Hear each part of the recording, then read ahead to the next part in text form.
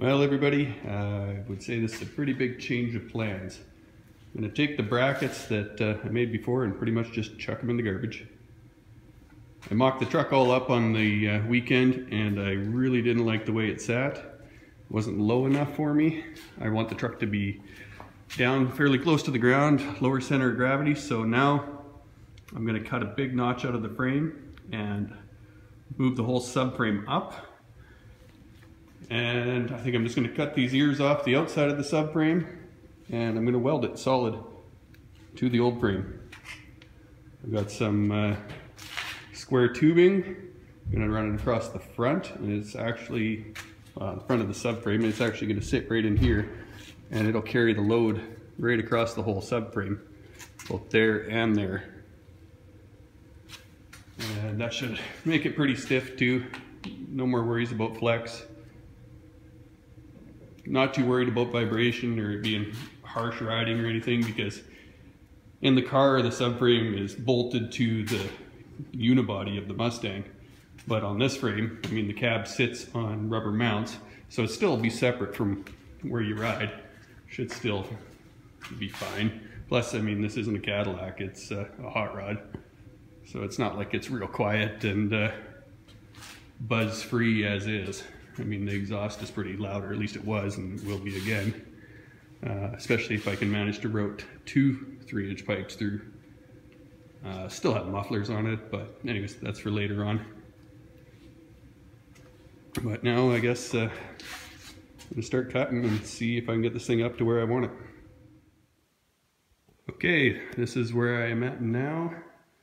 I've uh, scribed out the whole subframe like I showed in the last little clip there, and uh, made all my cuts. The uh, subframe actually sits in there just about perfect.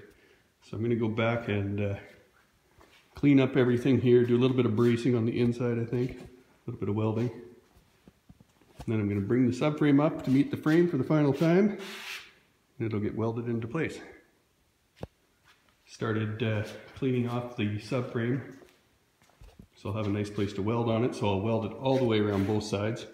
And then I'm going to come back in along the inside and kind of box in the frame, at least as far as this front cross member. Or... Okay, today's the day. This subframe is going to go under the truck for the final time, I hope. Gonna get it slid under there and uh, I got everything cleaned up where I'm going to weld it. So Got all the rust off and ground it nice and shiny. So hopefully we get a nice weld there. Um, I'm also going to show everybody how I lift it up uh, using my engine crane. It's the same way I did the Crown Vic swap up front. It's a really easy way to lift the whole subframe up. And when it's setting on the legs on the crane, you can just roll it in and out from under the truck. Makes it super easy.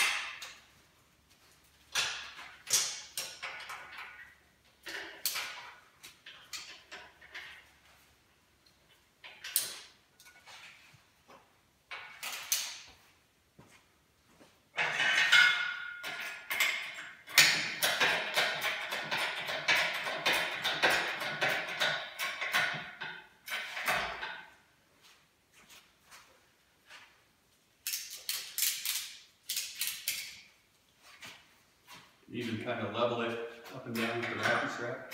Works really well.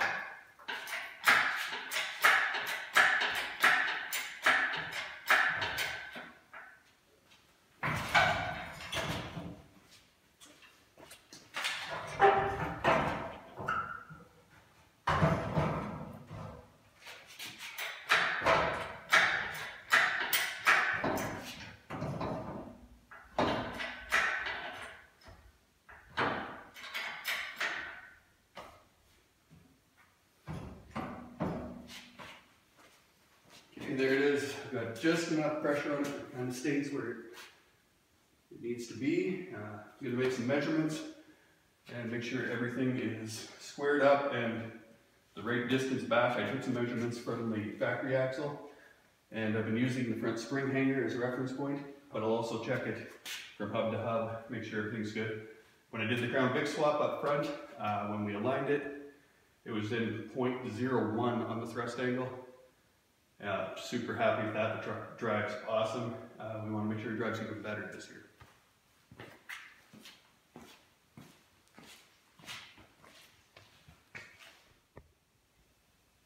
Okay, so there it is. Uh, I just got it tacked in for now. But uh, as you can see, I really took my time when I was making the cuts on the frame just to get it as tight as I could. So there wasn't much of a gap that I'll have to weld. I'll have to go back and do some filler in here. And I think I can close that gap up there. Uh, I'm to run a little plate on the inside down to the back here. And then once it's all welded, you can kind of see it on that side there too.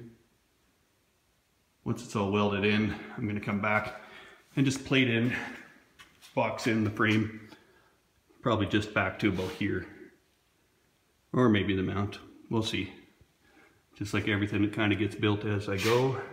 Gonna have to fill in a bit of a gap there. I'm just gonna build a few little pieces uh, just because the shape of the frame, it's as tight as I could get it. But it is sitting solid right on the top of that mount there. So it's gonna be fine. Just a whole bunch of welding and cutting ahead of me. But uh, that's that until it comes time to build the spring perches and the shock mounts, which will be a whole nother adventure, but uh, get this part all finished up first and I'll go from there.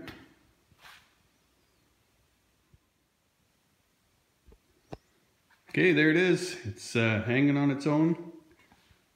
Got uh, a few beads welded on there. I don't want to get it too hot and twist anything up, but uh, it's coming together nicely. Pretty happy with uh, how it welds. Just got a whole bunch more uh, welding and boxing and plating to do, but uh, there it is, a 2017 Mustang independent rear suspension and a 1971 F100. So next up after I get this done, it's going to be onto the gas tank, which I'm moving into the back using a 70 Mustang fuel tank. Uh, a uh, little concerned that uh, the sway bar here and the very rear of the subframe might kind of get in my way but uh, we'll find out as I go. And I'll keep filming these videos. If uh, people keep watching, you can like and subscribe to my channel. Appreciate that.